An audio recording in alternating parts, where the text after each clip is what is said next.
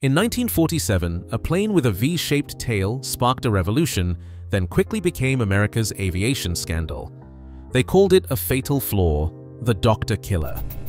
Yet here is the truth.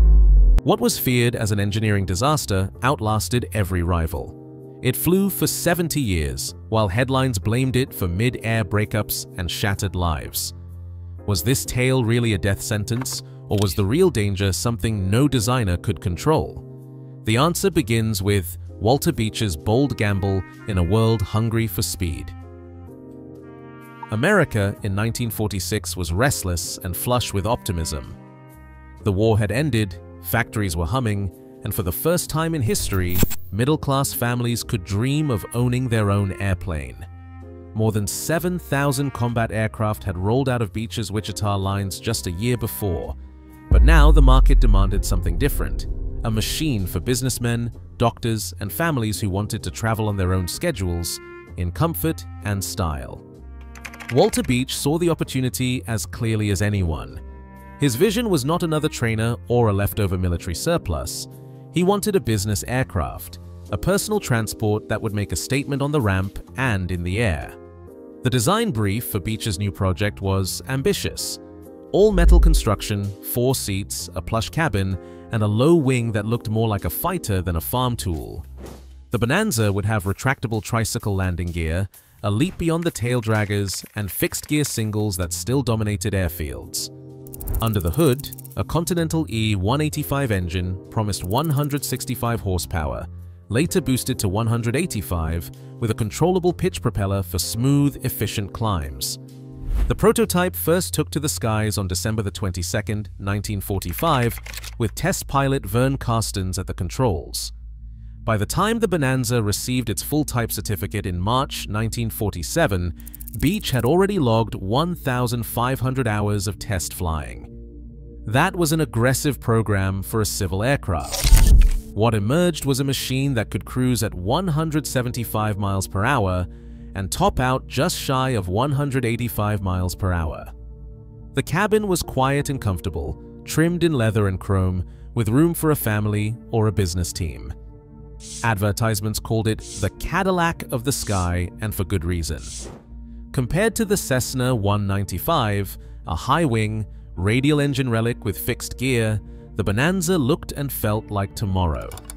It was fast, sleek, and modern, the kind of airplane that turned heads and drew crowds at every airport it visited. Demand was immediate and overwhelming. More than 1,000 Bonanzas were built in the first production year, each one snapped up by professionals who wanted more than just a way to get from A to B. They wanted speed, prestige, and the freedom to go where the roads did not. The Bonanza delivered all of that and more. But underneath the polished aluminum and futuristic lines, Beech's team was already wrestling with a defining question. How do you make a plane this fast and this light stand out from everything else in the sky? The answer would come in the shape of a tail no one had ever seen before. The V-tail wasn't born out of a committee or a focus group. It was a gamble, a bold stroke from engineers who wanted to break the rules of what a tail could be. In those first design meetings, Beech's team sketched every possibility on the drafting table, the familiar cross, the T-tail, even a twin boom. But it was the V, angled up and out like a pair of outstretched wings, that kept pulling their attention. The math was seductive. Two surfaces instead of three meant less weight, fewer hinges, fewer points for drag to gather, and slow the airplane down. Every intersection on a conventional tail was a parasite, robbing speed and efficiency. The V-tail promised to clean up the airflow, cut drag, and give the Bonanza a higher cruise on the same power. Aerodynamicist Jerry Gordon and his colleagues ran the numbers, then built wind tunnel models to prove them.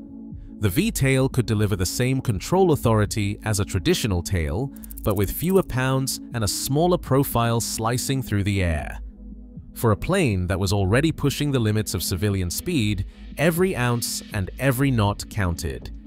It wasn't just about performance though, the V-tail was a showstopper. In an age obsessed with rockets and jet age lines, the Bonanza's butterfly tail looked like tomorrow. It was unlike anything sitting on the ramp in 1947. Where the competition wore boxy upright fins, the Bonanza's tail leaned back, sharp and confident.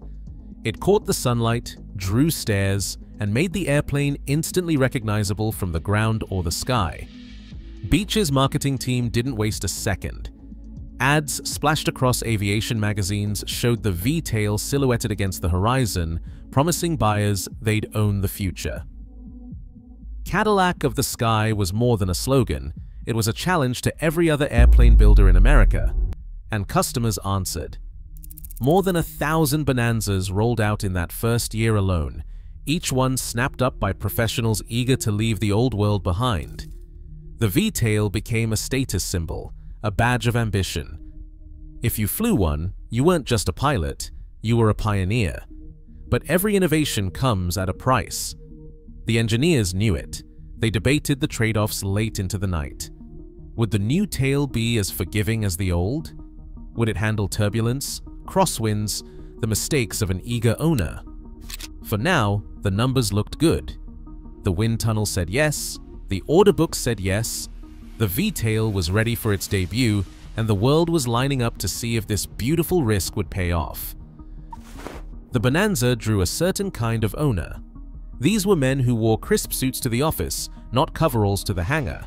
Doctors, attorneys, and executives, people used to making decisions with confidence, found themselves drawn to the promise of speed and status. For many, the Bonanza was more than a machine. It was a symbol of arrival. The checkbook could handle the price, and the ego could handle the challenge. But the logbook often told a different story. A typical New Bonanza pilot in the late 1940s or early 1950s might have logged fewer than 200 hours, often all in basic trainers. Some had just enough experience to pass a check ride, but not enough to know what they did not know. The jump from a slow, forgiving tail dragger to a 175 miles per hour retractable gear rocket was massive. Yet, for a generation raised on post-war optimism, caution felt like an insult. The Bonanza's marketing only fueled that confidence. Businessman's Express, the ads promised. Go anywhere, anytime. The reality was more complicated.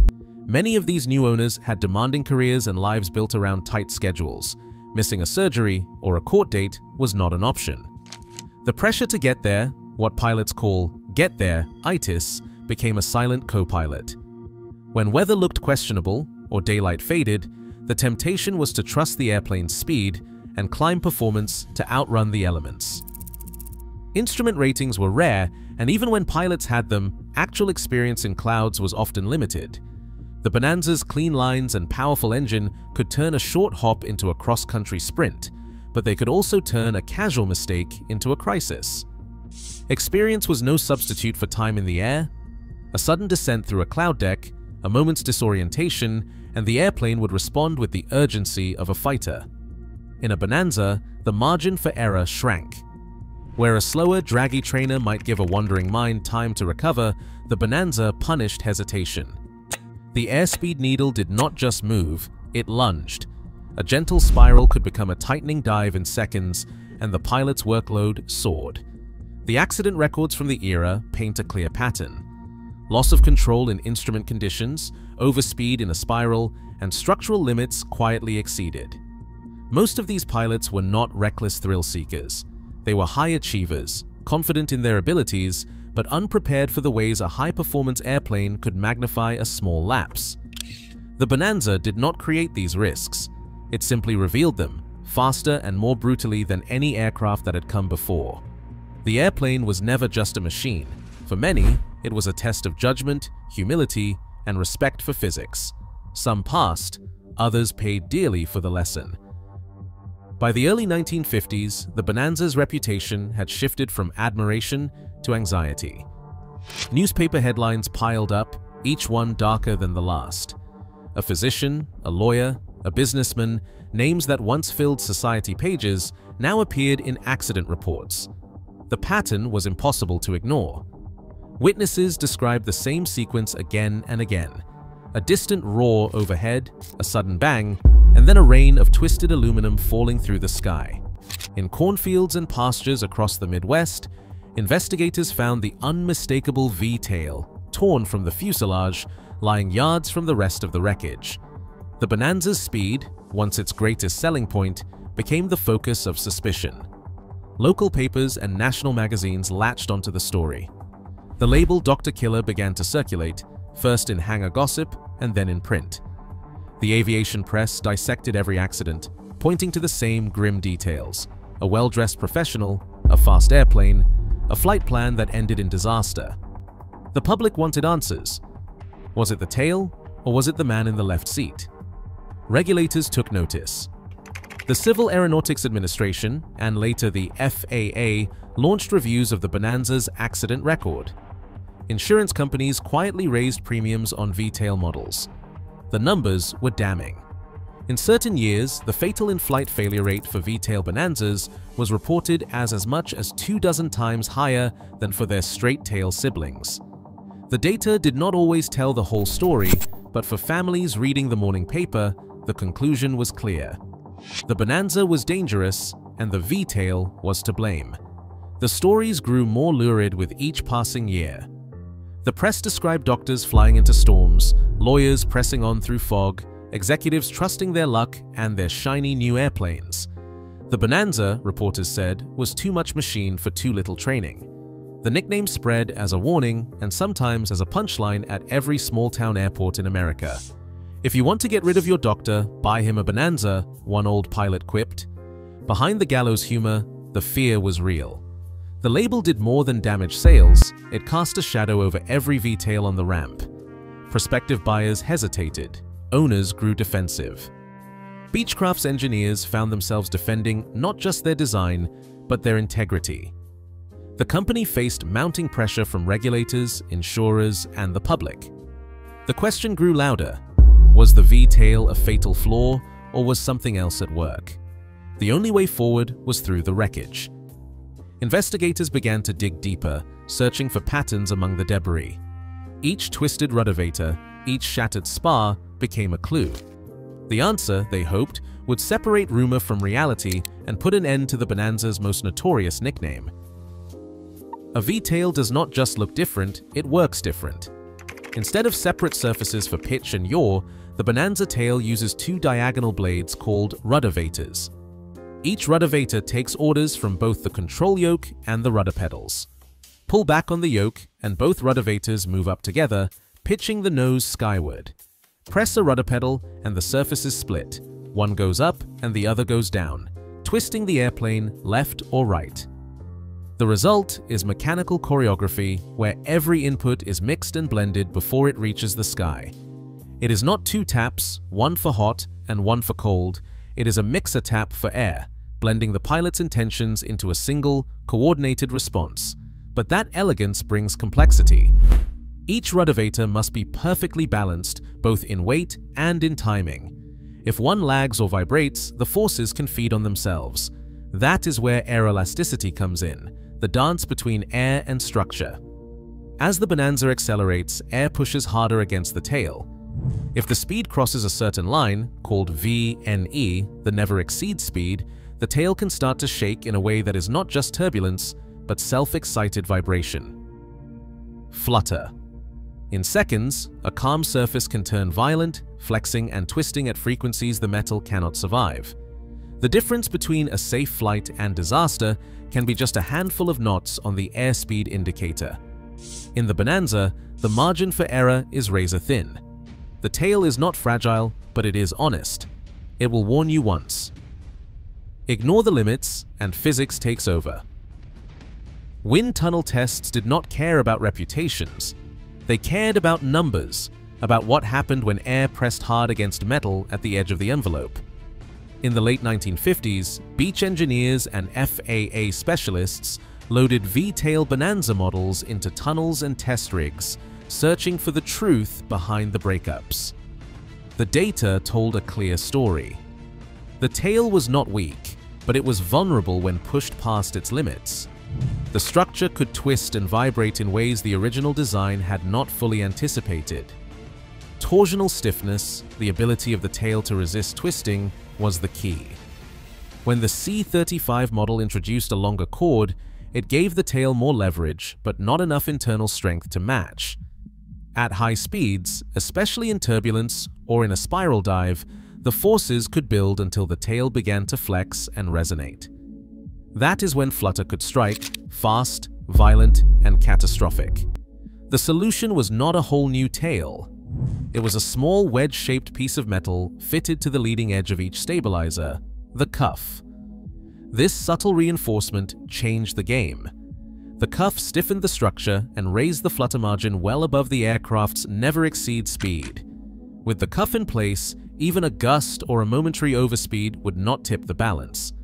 FAA made the retrofit mandatory through airworthiness directives, and mechanics across the country began installing the kits. The fix worked, in-flight breakups dropped sharply, but the real lesson was not just about hardware. Beechcraft and FAA doubled down on training, teaching pilots to respect the red line and the realities of spiral dives. The Bonanza could still run away if provoked, but now the tail was no longer the weak link. The evidence had spoken, and the design stood vindicated if you listened to what the numbers had to say. Even now, the Bonanza's silhouette crosses our skies, a reminder that innovation always walks a razor's edge between risk and reward. As new pilots chase speed and technology, the lesson endures. No design is safer than the judgment behind the controls. Mastery, not machinery, keeps us flying. Would you trust yourself with that legacy let us hear your answer below.